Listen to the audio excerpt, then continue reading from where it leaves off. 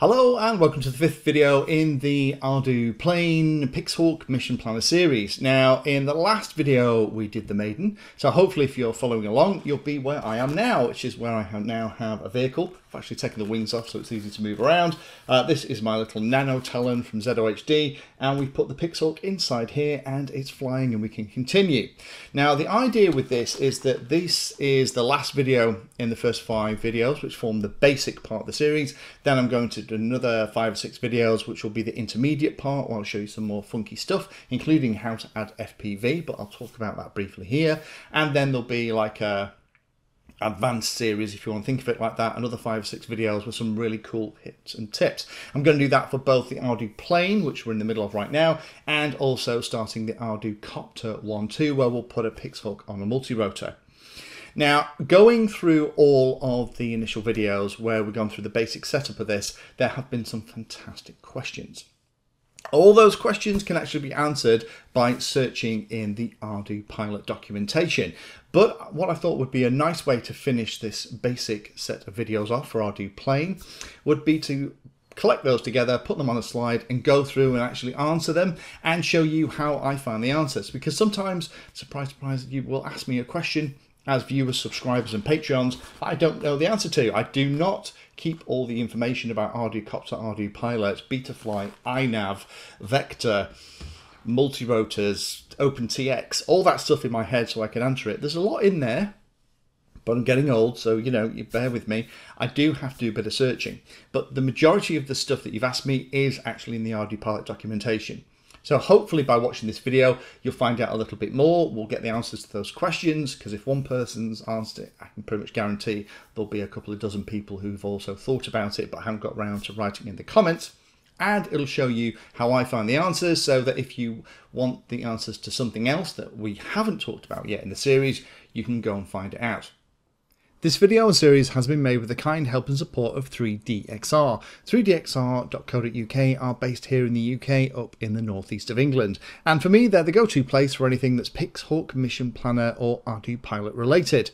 They stock a full range of Pixhawk style flight controllers, a wide range of T-motor, ESCs, motors and props, and also have a full range of sensors for your Pixhawk builds as well, particularly things like the Lightware and Benewake LiDAR and rangefinders.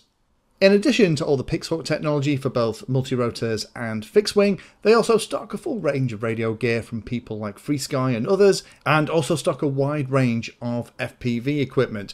So if you're looking for telemetry radio, super accurate GPS sensors, Pixhawk, large scale UAV systems, then check out 3DXR. There's a link in the description.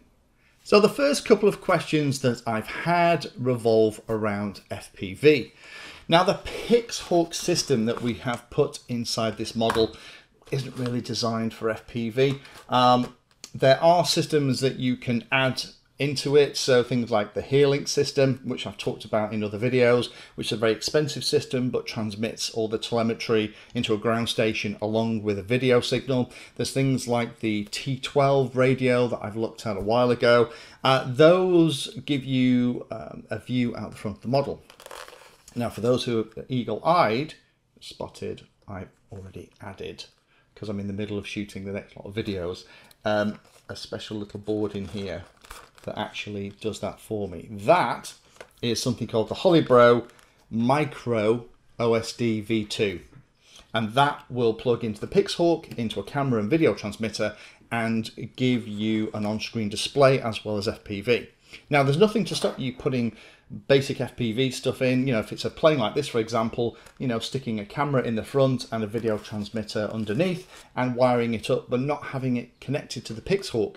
But if you want an on-screen display with a Pixhawk, then something like that Holybro unit is where you need to go. Again, full video on how you set all that up and a lot more detail on FPV coming in probably the next intermediate video. There are a couple of other things that I've been asked about. Um, one is, can you use the DJI HD system with it? Uh, the answer is yes, you can.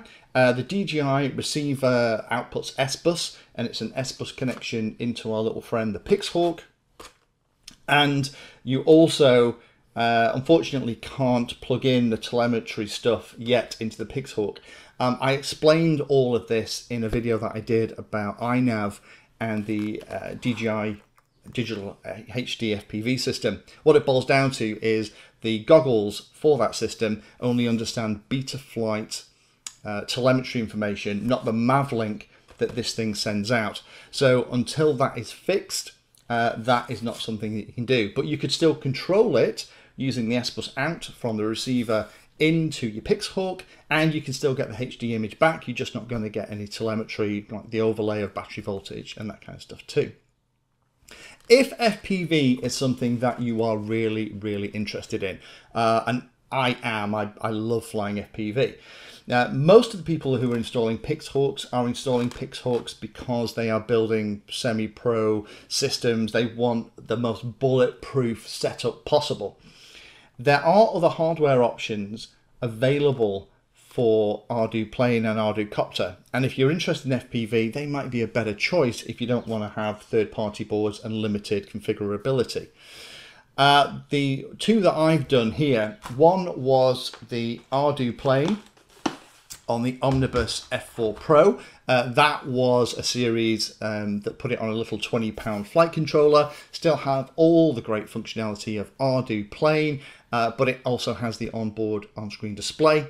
Similarly with the Matek F405, that uh, was another build that I did, went into an AR wing, uh, worked beautifully well. So still has all the functionality and bulletproof backup of the ArduPilot firmware, but on an open piece of technology that's an awful lot cheaper than a Pixhawk if you can't have got Pixhawk money, and will give you a great FPV on-screen display experience. That all happens on the board, and Ardu uh, Pilot actually supports that. Has for about a year now as I'm recording this video. So the next question then is about what's about if I'm not using the same Pixhawk you are. The Pixhawk Cube is a relatively expensive system. There are lots of other versions about, and I've already talked about two of them, the Omnibus board and also things like the Matek. But there are different versions of the Pixhawk hardware platform available from different places like Holybro and others. So the thing I would recommend is when you are searching for anything like this is all the information that you're after is going to be in the ardupilot.org documentation. And you can just google stuff and all the information is in here. So for example there's the black cube that we've just been looking at. You've got all the information about what they call open hardware. The the nomenclature in here is i always find quite funny. But if you want to find out how you put together your pixhawk for mini flight controller. Here is all the detail. The software setup is exactly the same as what we have been through in this basic series. Just how you wire it up is a little bit different. And this is all of the hardware that is supported. So if you have any of the boards listed in here, then you can install ArduPilot onto it, get it to work and have some fun. Another great question is, well, hang on a minute, what do I need to do differently if I want to build a different size uh, plane? And this is something I did talk about in the series, but it's worthwhile reiterating. This is a relatively small uh, vehicle that actually comes apart so you can actually stick it in a backpack uh, for or it's easy to transport and then when you get to the field you can kind of put it all together. I've purposely put it in here because I like these smaller vehicles. Um, the biggest I get to is about meter 1.2 meter wingspan. But the Pixhawk system is really, really good at not only flying relatively small vehicles like this or a 600 millimeter wing as we've done with the Omnibus build last summer, but it's also really, really good at flying huge vehicles as well. The process to set it up, whether it's a you know this little thing or you know something with a three meter wingspan, is exactly the same. There is no difference in the process that you go through or the steps that you follow to set up Pixhawk in something like this versus something in a vehicle that's going to fly for three hours and do mapping missions. Again, there'll be more detail on the extra things that you can do and also check out the Big Boys Toys playlist. There's information in there about camera triggering and stuff if you want to have a look at that in advance of some of the, the rest of the series being created here as part of the Pixhawk 2020 stuff. Now, another great question that I get a lot is, well, um, I'm really struggling, I'm stuck, I can't arm it. Um, we kind of went through this again in the series, but again, this is something else that warrants um, a bit of a test. Again, if you're not sure about any of this, I would recommend watch the entire basic series. Following each of the steps will keep you out of trouble. The nice thing about arming with the um, ArduPilot technology is if you have it connected to the ground station via a USB cable, I've got my little black cover on the USB cable port there, um, and you try and arm it always take your prop off, of course. Uh, it will show you on the ground station exactly what the problem is. And if you remember, we actually had this issue when I was trying to do it. I had this issue about the airspeed sensor, which looks like it was a holdover for when the cube that I'm using in here was used in a previous build. And again, to find the answer to this, I could Google for something like troubleshooting arming. That's not giving me a great answer. Let me try something like trouble arming. Let me just search for arming and there is the arming plane page. And on here is all of the things that are checked, how it all works, what things can stop it, how you arm the plane, how to disarm the plane, and reasons for refusing to arm. Again, all of this is in the documentation, easily findable with a relatively simple bit of searching. Now there are a load of pre-arm safety checks, but here's a load of the different errors that you can get in the ground station when you're trying to arm.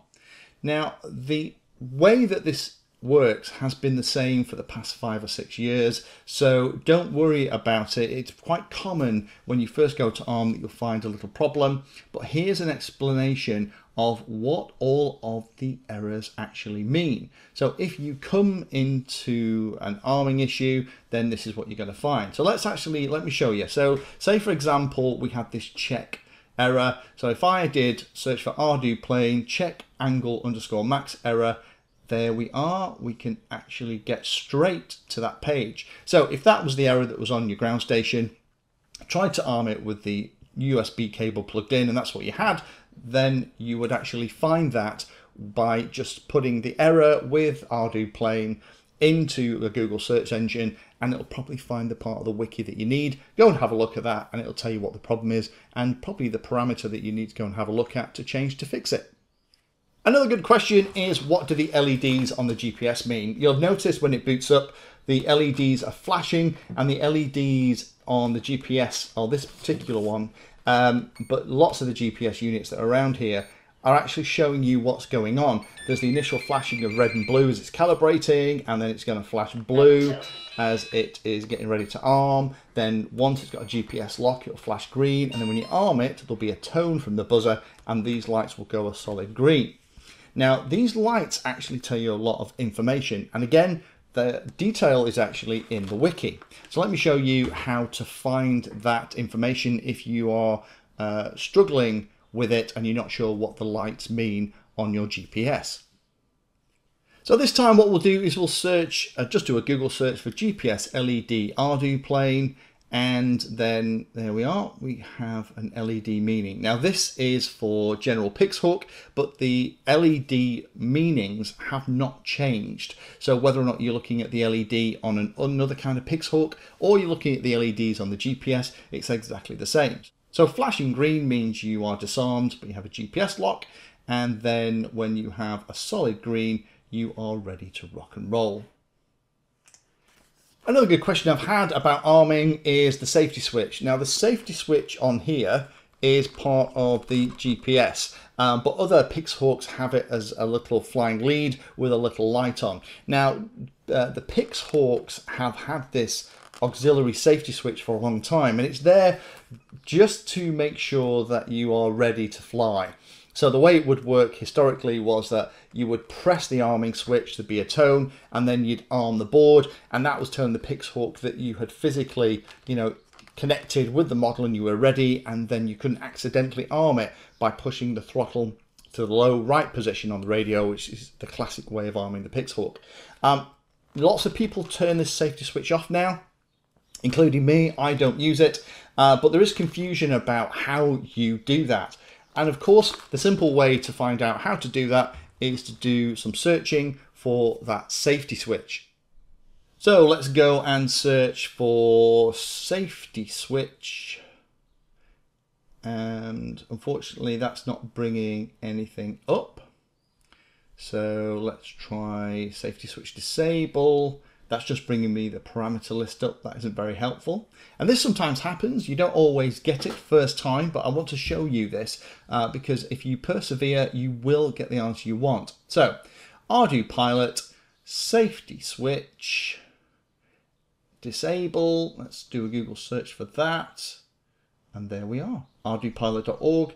And there is about the safety switch. That's the other safety switch I was talking about and configuring the safety switch is done by brd underscore safety enable. Uh, zero disables the switch, having it one turns it on. You can even have a safety mask, which is actually in the advanced parameters in Mission Planner, and that shows you which outputs are disabled.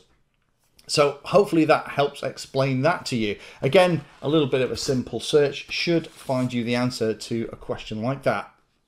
Last question that we'll look at then is about mounting the Pixhawk. Now, as I went through as we were putting this in, my advice would always be work extremely hard to mount the Pixhawk the right way up with a little arrow facing towards the nose of the plane, and that is the default orientation. It will understand then for the accelerometers, the gyros, and the onboard compasses how the Pixhawk is installed. However, there are instances where that isn't an option, and maybe you needed to put the Pixhawk under here in the belly so it's actually upside down.